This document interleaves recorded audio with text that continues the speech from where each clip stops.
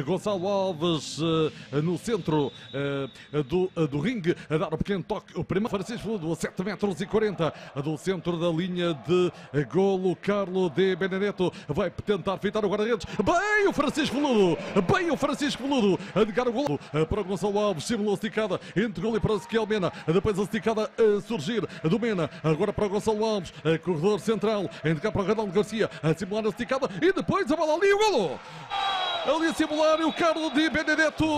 Estava no uh, sítio, no sítio certo, uh, sítio certo, mesmo à espera do Porto, aproveitando a vantagem numérica uh, e o Carlos Di Benedetto a marcar o primeiro golo para nesta tarde para a equipa do Futebol Clube do Porto, o Porto a adiantar-se do marcador, Carlos Martins a, a, valer aqui a vantagem numérica, o Carlos Di Benedetto, ele de facto é muito alto, estava lá neste caso no sítio, Rafa progredir, movimento para o Carlos Benedetto, mais para trás, ali para o stick do Gonçalo Alves, vai avançar no rinco Gonçalo Alves, a tentar colocar, e agora o golo, o golo de Carlos Benedetto.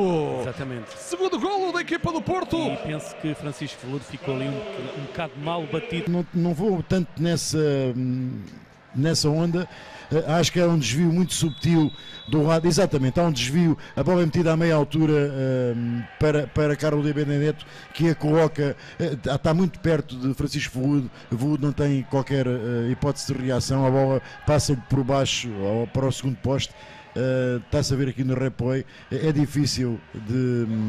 De, uh, que agora está na moda. Está na moda e estes árbitros uh, certamente têm critérios de intensidade diferentes, não sei se é dos emblemas. Não. Lopes pede um time-out.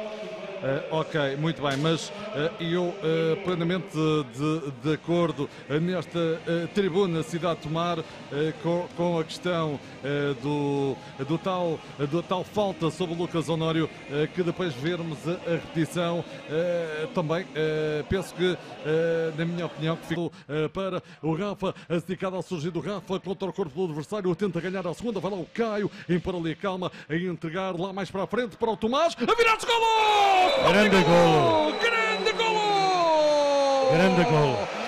Sporting! Tomás Moreira! Olha, é, é um passe do Caio quase de costa a costa, é, a bola ressalta no, no stick de um jogador do Futebol Clube do Porto, muda a trajetória e um, o, o Tomás Moreira que estava ali sozinho, uh, à meia volta, a mandar um bilhete, a apanhar a bola uh, conforme ela vinha e a bola a embater no ferro. Uh... Zuma, Futebol Clube Porto, a ficar passa bola dentro da meia pista com o Reinaldo Garcia ali na pressão. Está o Felipe Almeida, vai lá o Reinaldo Garcia, depois vem o Felipe Almeida a desarmar o seu, o seu adversário. Agora vem golo! Sporting golo! Guilherme Silva! Guilherme Golo! Sporting! Sporting! Que reduzir! Dois para o Sporting de Bar, três para o Futebol Clube do Porto. Ainda faltam 7 minutos e 53 segundos. Ainda há muito, muito tempo para jogar em termos de hockey patins. Era o tal golo que era preciso, Carlos.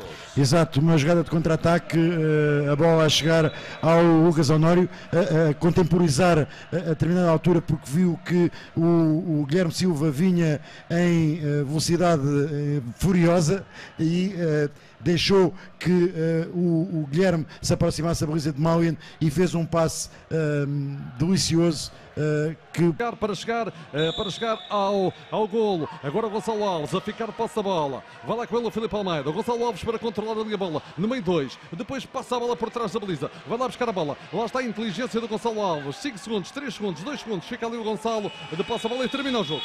Termina o jogo 3-2 vantagem do Futebol Clube do Porto e termina também uh, a época. Termina a época para o Sporting tomar que tudo fez